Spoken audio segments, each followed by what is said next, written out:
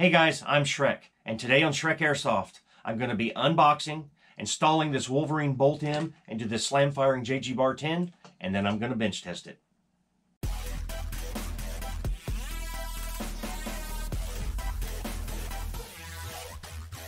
The Bolt M comes from Wolverine Airsoft in this blister pack, and I went ahead and pre-opened these things here at the top because they're kind of hard to do.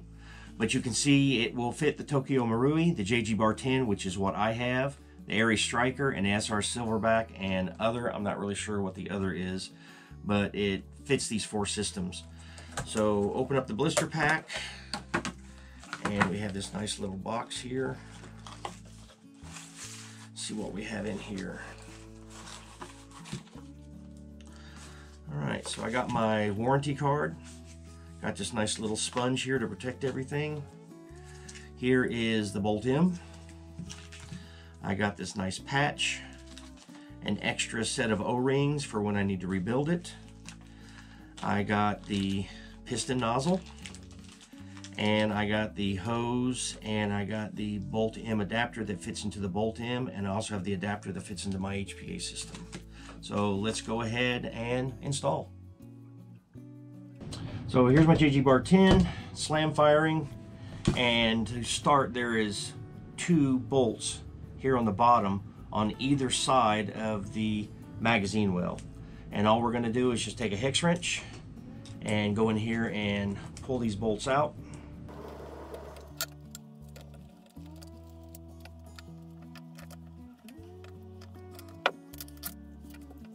After those two bolts are taken out, you can move the stock from your receiver and you just grab it and it just separates cleanly like that. Next thing we're gonna want to do is we're gonna, I like to go ahead and remove the barrel and there is a little Phillips bolt right here that should just come right out. and barrel unscrews like this.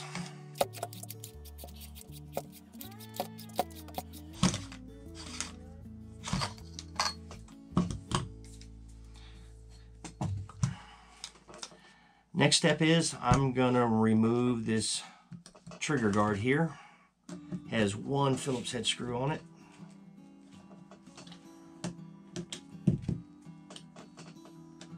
And it just pops out like that. Here's your trigger assembly here, and here is the bolt, which you cannot remove until you remove the trigger assembly. And again, there are just a couple of small Phillips head screws in here.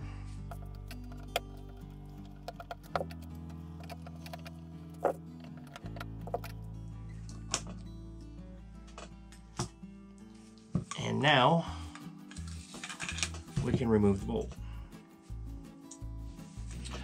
We need to remove this nozzle. Easiest way to remove this nozzle is just take a small 90 degree hex wrench and put it in one of the holes there. Use the nozzle as leverage and you can loosen it and then get it off the rest of the way. The, uh, the piston in here is held in place by a spring.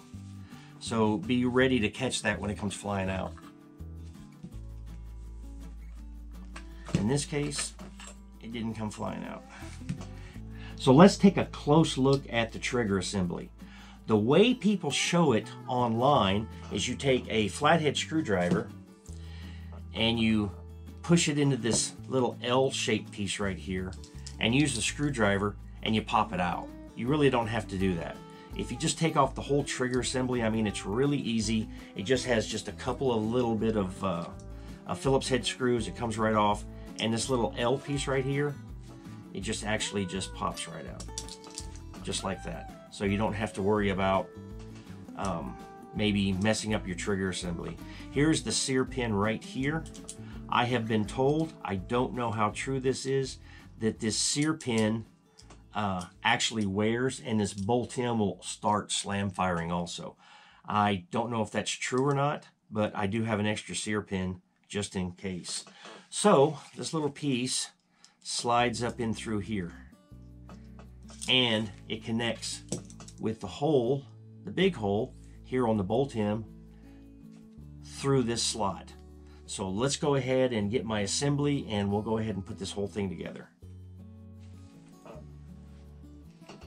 So how this thing goes together is actually pretty simple.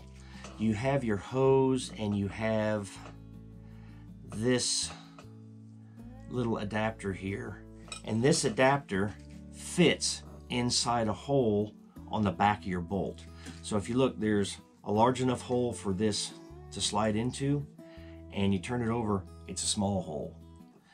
Now this slides down with the big hole up inside your piston and it should go all the way to the back. You have to make sure that that big hole lines up with this slot on the outside of your piston. Now what's happening with mine is I slide it all the way down, it doesn't fit all the way down into the bottom like it's supposed to. And according to the instructions, this is actually quite common.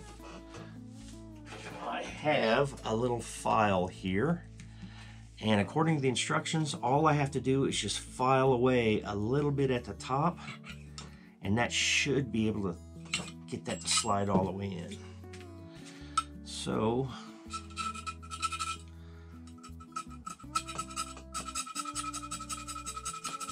only thing I'm worried about is these little filings here getting inside and messing up my my bolt in. So I'm going to be very careful with this. Let's see if it'll fit.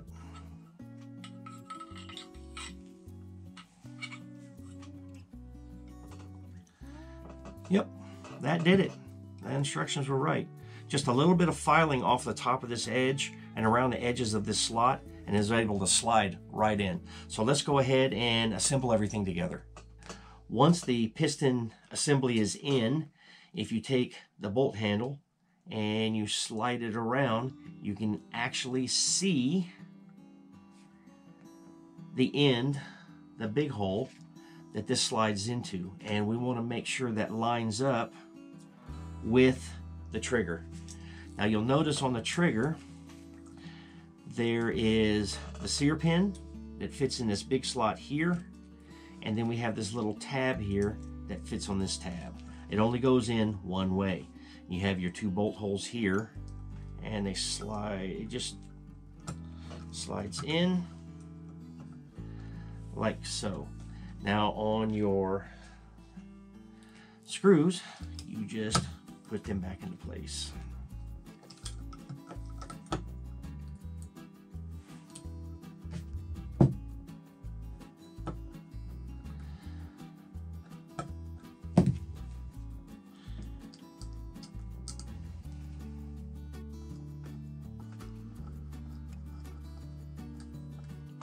Not over tighten these two screws here. You over tighten these two screws, you strip them out, and it's heck trying to find a replacement.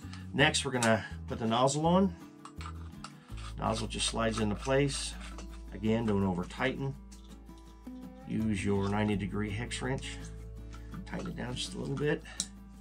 Now, what I want to do, and this is the hard part, is I want to line up that hole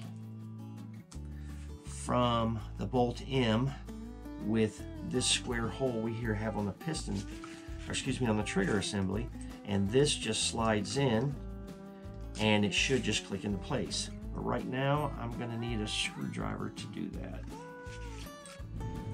So I said I needed a screwdriver. Actually, what I meant was a flashlight. I'm gonna use the flashlight, look down in there, and I'm gonna get this. All right, so that's fairly well lined up. Now according to the instructions, this just slides in and should pop in place. And that's exactly what it did. So let's see how this works. And it is a short stroke. Oh, that's outstanding. So according to the instructions, it's better for this to go down this side of your rifle. So I'm going to go ahead and reinstall my trigger assembly.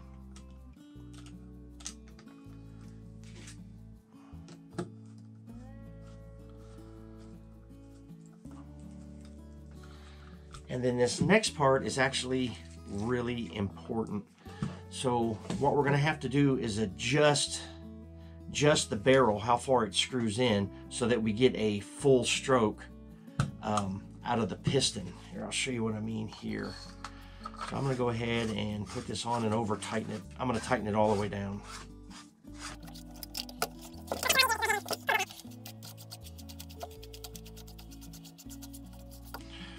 All right, so the barrel is screwed in as far as I can into the piston receiver. And you notice what happens is when I try to slide this forward, I can't, I can't seat the bolt handle in there at all. So get it to this point and then unscrew it, one turn.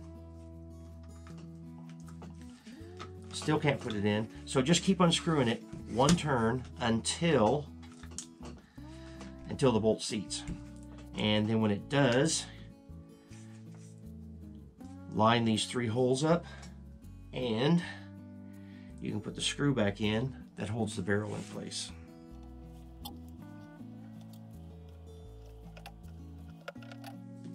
Next step, reinstall the stock. But before I put this entire upper receiver here into the stock, I'm going to want to drill a quarter inch hole through here so that I can get the feed line through it so it'd be easier to attach to my regulator.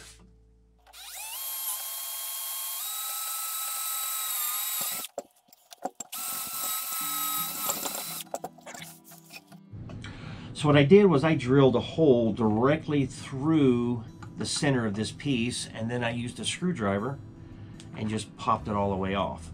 You'll notice there's like these four little supports in here and I drilled right down through the center of the supports. I wanted it in the center because I'm a little anal like that. However, um, I suggest if you're not anal like me, try drilling it right here. That way you'll bypass these four supports right here and it won't be as big a mess as what I had. But right now what I got to do is I got to take this feed line and I got to feed it down a little hole right in through here down and through here so we can put the whole thing together and then I can snap this back on. So now the issue we have is taking the feed tube and putting it down through this half inch square hole, feeding it all the way down through the stock into here. And try as I might, I was sticking this hose through that hole and I could not get it to come out through this hole. So what I come up with was just take a piece of brass wire and straighten it out and just slide it in.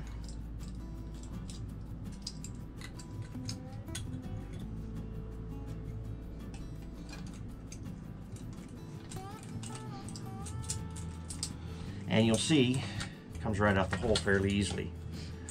So what I did then was I took the wire and I shoved about two, uh, two inches of it up inside the hole and then I took a piece of duct tape and wrapped it around to secure it in place. And then I gently fed my feed tube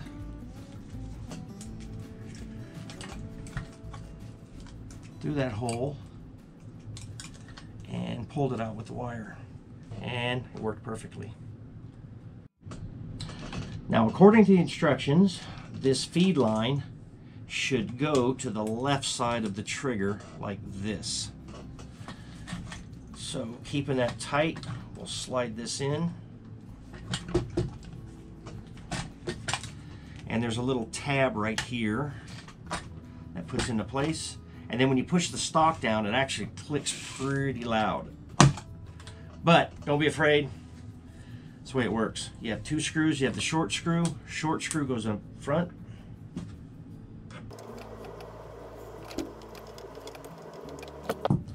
Long screw goes in the back.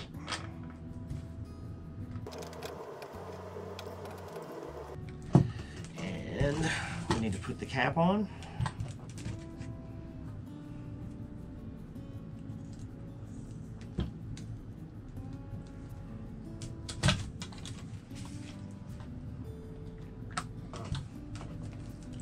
It's held in place by friction and that works. So now let's test it out here. And now I think we should bench test it. So I have my JG Bar 10 with the Wolverine bolt in installed. I have it hooked up to a storm regulator with a 3000 psi 13 cubic inch Vulcan tank. And to start with, I want to dry fire it just a little bit um, to see if the addition of uh, high pressure air has anything to do with the bolt pull. Pulls back the same, but there is a little tension when you uh, when you push it forward. Not too bad. That is loud. I'm gonna have to put a silencer on the end of this. So the next thing I want to do is I want to put uh, magazine in here with uh, dot 43s and I have my chrono and I want to chrono it and compare it to my Wolverine bolt that I have in my other gun uh, to see any differences. Okay, got the magazine in, safety goggles, hat. Let's go ahead and put a round in. Really easy. That's very smooth. And it is a lot quieter with the round in it when I shoot it. All right, so I got my chrono here. I got it set for 43s. Let's see what it does. All right. Whoa, I'm showing three joules, 387.5 FPS. And I'll tell you right now, my Wolverine Bolt, I'm getting 2.44 joules, and I think I'm shooting right around 280 FPS. So let's see how consistent this is. I'm gonna put about five rounds through it, and I'll tell you what the FPS is. At that time, it was 386.6.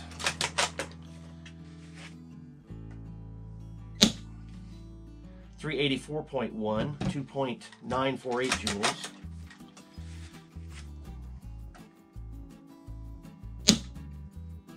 All right, 389.2 FPS, 3.026 joules. Oh, it jammed up a little bit. I think I double fed. Yeah, I double fed. Hey, got a problem. There we go. It did double feed. I pulled the bolt all the way back and two BBs came out. So let's try it again. Hopefully that won't be an issue. And it actually might have been my problem. Maybe I didn't pull the bolt all the way back. Uh, 290, 1.6 joules. That's kind of odd. All the way back. All right, 385.6, 2.97 joules.